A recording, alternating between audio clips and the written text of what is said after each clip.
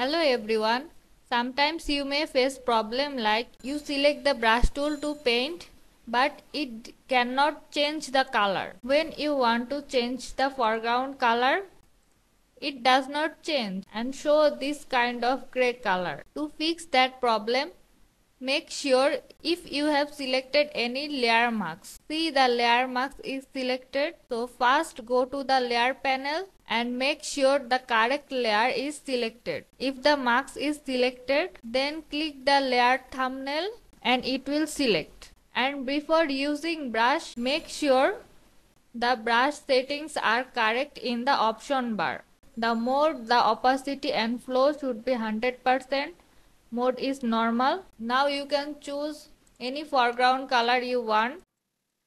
So that's it for today. If you like this video then click the like button and subscribe our channel for getting more video related graphic design all types information tips and tricks and free resource of premium product. We are here to share with you some amazing information and free resource of design. So stay with us. Thank you for watching